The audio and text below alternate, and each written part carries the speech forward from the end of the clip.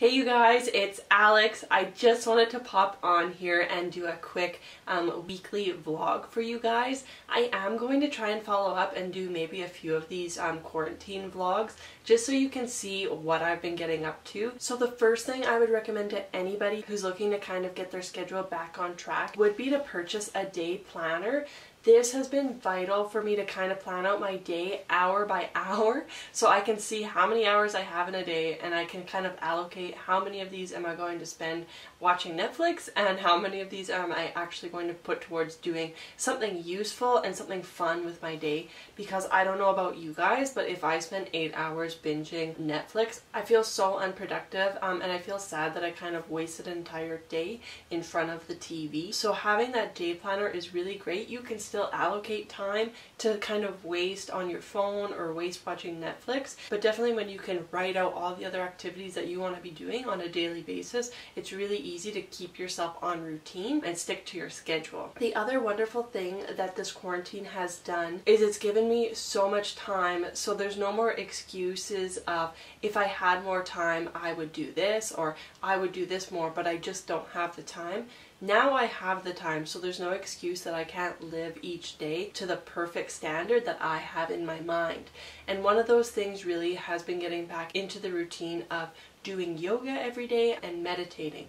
So after I have my morning coffee and I'm nice and relaxed, I do put on my yoga pants and I do about 25 minutes of yoga and then a 10 minute meditation afterwards. And it really helps me center and focus and I find that when I start my day off doing that I'm more ready to be productive and actually carry on with the other items I wanted to do with my day than if I have a coffee and I go right into watching TV I find I'll burn like four hours watching TV if that's the first thing I start doing in the morning. So I'll throw the montage to you guys so you can see you know all the little things I've gotten up to um, this week in quarantine. One thing I do really like to try and do is put on a little bit of makeup. I know for some people it's not your your thing, now that you're not seeing people, you don't want to have any kind of makeup on, that's fine. For me, uh, it does help me get into a routine and I find when I put my makeup on, I want to be more present with you guys and it makes me more prepared to do anything related to my blog. Um, so that's one of the reasons I do put my face on. From there, because it is spring, I did want to tackle some of my projects. It's kind of a daily chore to keep the house clean um, when you're home all day and you're cooking for yourself and you're living in literally every room of your house. It does get a little disorganized,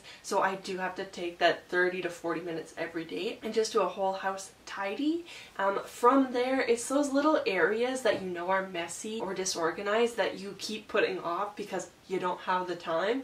I started tackling some of those things. So of course my front entryway closet, now that it's spring, we had to get all the toques and mittens organized. It's also the perfect shelf to just throw any of Smokey's toys and items. So I've worked really hard on getting that area organized. And then as well, I had planned to do a bit of a bathroom renovation within the coming weeks. But of course, because of my layoff, I don't want to spend a whole lot of money renovating right now. Um, but I did have a lot of leftover paint from previous projects. So I thought, why not freshen up what I already have in the bathroom with just some white paint, really lighten everything up, give it just a minor facelift without having the expense of doing a full renovation right now. It's really been a nice little pick-me-up. Um, whenever I walk past the bathroom now, it's not such an eyesore. I can kind of get past it when everything is the same color and it fades away. So I did also get up to that this week. And then as well, again, because it is spring, I did a little bit of repotting of my house plants. So I have some that have just gotten too big for their pots. Um, so I actually separated them and repotted them in different pots. And that was really fun because I actually got to FaceTime my mom while I was doing that. She's the green thumb and she walked me through the whole process. So those are just some of the fun things that I've gotten up to this week and I really hope you guys enjoy.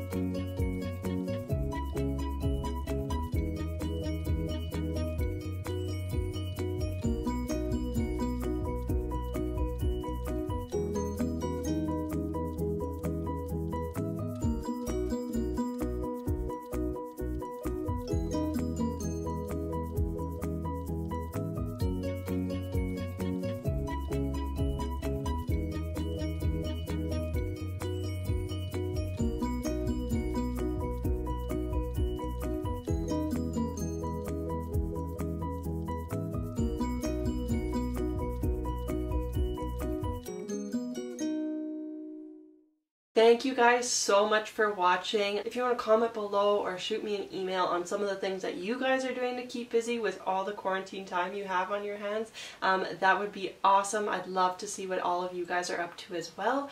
If you have any requests for quarantine content um, or videos that you want me to do, please again put it in the comments or send me an email. I would be really happy to kind of brighten your guys' day and give you content that you want to see now that you guys are sitting at home and we don't have a whole lot of other things going going on to entertain us. So I'd totally be happy to do that for you guys. If you haven't already, please check out my blog, alexandriaparis.ca, and follow me on Instagram, alexandriaparis underscore. Thanks again for watching, and we'll see you guys next time.